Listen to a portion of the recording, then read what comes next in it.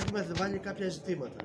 Και το προηγούμενο διάστημα, κατώτατε εγγυημένες τιμές και η κυβέρνηση και έχουμε μιλήσει και με βουλευτές και με οποιοδήποτε, μας λένε ότι δεν είναι εφικτό για λόγους ελεύθερης αγοράς κλπ.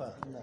Όμως, κατώτερο εγγυημένο κέρδος δίνουν στα διόδια, δίνουν στις αεροπορικές εταιρείες.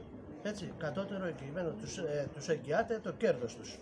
Στον αγρότη, στον πρωτογενή τομέα δεν μπορούν να εγγυηθούν.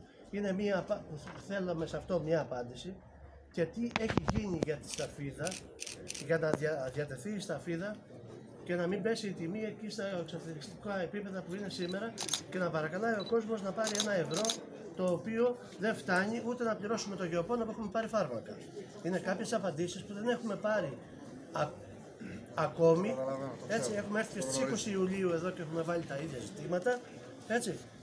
Και για κόστος παραγωγής, για το πετρέλαιο που έχει υποσχεθεί ο κ. Μητσοτάκης ότι θα το βάλει αφορολόγητο στους αγρότες. Είναι κάποια ζητήματα που θα θέλαμε, θέλαμε, περιμέναμε κάποια απάντηση σήμερα, ως προς τη σταφίδα.